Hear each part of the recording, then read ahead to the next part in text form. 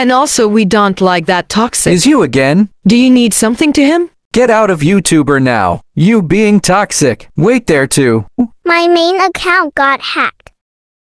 Why you pretending to be him? I'm gonna steal your fame and fans. Give me the account with over 1 million followers. He tastes like sweating shit.